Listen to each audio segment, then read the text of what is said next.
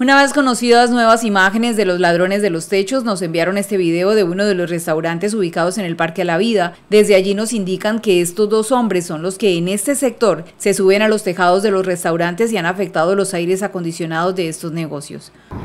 Aquí la cortaron.